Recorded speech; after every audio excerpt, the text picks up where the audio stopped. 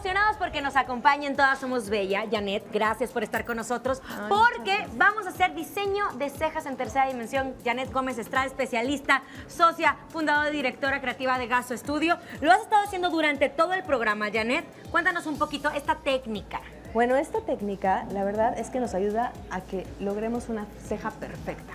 Hoy en día, todas queremos unas cejas con alta densidad de vello, vernos muy atractivas, vernos más jóvenes.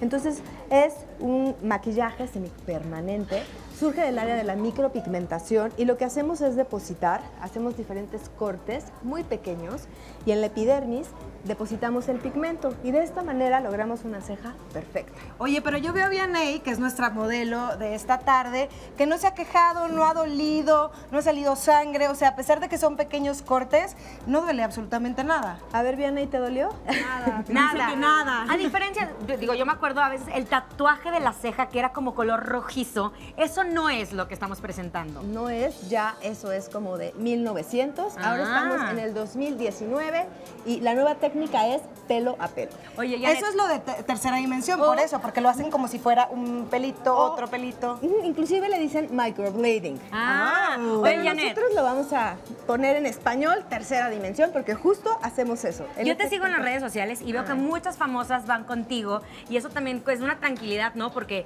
pues obviamente todas se quieren ver, ver, ver bien. Tenemos algunas imágenes que les vamos a presentar de muchas, de Gretel Valdés, este, Geraldine Bazán, Irina Baeva, eh, Dulce, María, este, todas. Carlita Car- de jeans. Carla de Carlita, Jeans. todas las de jeans también vienen con nosotros.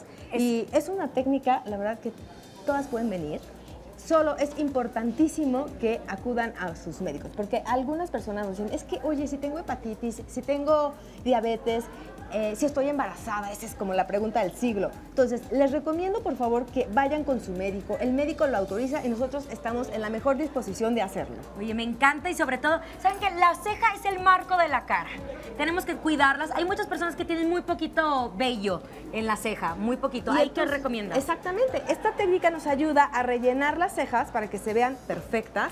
Y no solamente, eh, por ejemplo, las que tienen cicatrices. Hay gente que Ah, se siente claro. insegura, que al espejo no se agrada. Y, ¿por qué no? Aportar un poco de seguridad con esta técnica o inclusive a las que han perdido el vello cuando están en una quimioterapia, por ejemplo. Ah. Tenemos algunos de regalo, de hecho, algunos diseños de cejas. Síganos en las redes sociales, arroba todo un show MX para enterarse de todo. Exactamente, tenemos 10 diseños de ceja, por favor. ¿En serio? claro que sí, para Ay, todas me gusta. ustedes. Y hay unas sorpresitas más ahí en las redes de ustedes. Van a saber cuál es eh, toda la sorpresa que les tenemos.